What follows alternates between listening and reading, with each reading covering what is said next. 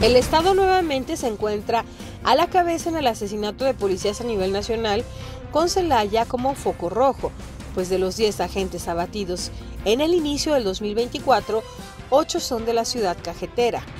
Así lo expuso el investigador de la organización Causa en Común, Fernando Escobar Ayala. El especialista comentó que en el sexenio se lleva registrado al menos 2.262 policías asesinados.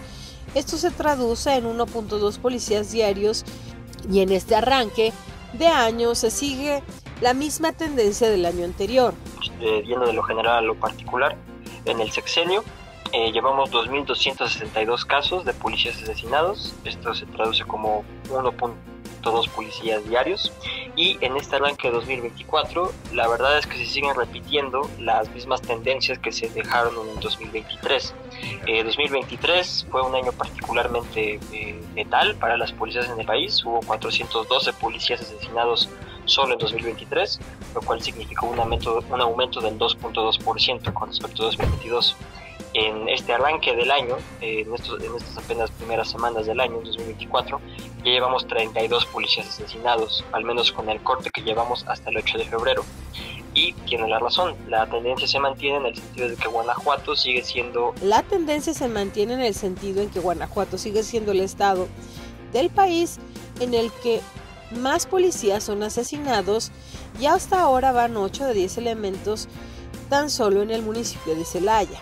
Lo primero que destacamos eh, de entrada es la tendencia de los últimos, eh, desde, 2018 prácticamente desde que llevamos el registro, o al menos desde 2019. De 2019 para acá, Guanajuato es el estado en el cual más policías asesinan y de hecho la inmensa mayoría se concentran en ese municipio de Celaya.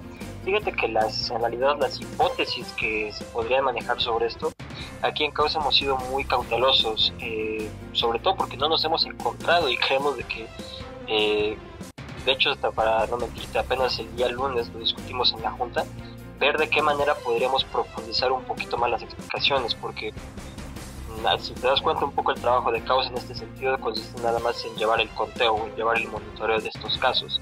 Nunca nos aventuramos a explicarnos necesariamente porque entendemos que eso... El especialista también expuso que explicar la situación debería de ser el trabajo de las fiscalías.